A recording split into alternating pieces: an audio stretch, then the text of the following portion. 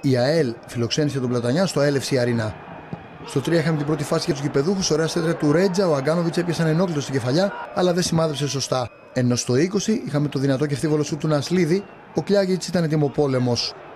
Στο 29 οι φιλοξενούμενοι βγήκαν υποδειγματικά στην αντεπίθεση με τον Ισικουλού να μπαίνει στην περιοχή, αλλά τον Μπόζοβιτς να κατεβάζει ρολά.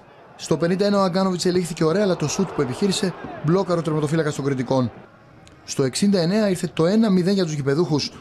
Ο Ντέλετη με τεχνικό σουτ νίκησε τον Κλιάγιτ. Στο 90 το δυνατό σουτ του Ντέλετιτς που ήταν εκτεθειμένος έδιωξε με τα πόδια ο Κλιάγιτ. Και στο 93 ο Λεοζίνιο πέταξε υπέροχα για τον Ντέλετιτς στο κενό χώρο. Αυτό σούταρε ο τερματοφύλακα του Πλατανιά είπε ξανά όχι.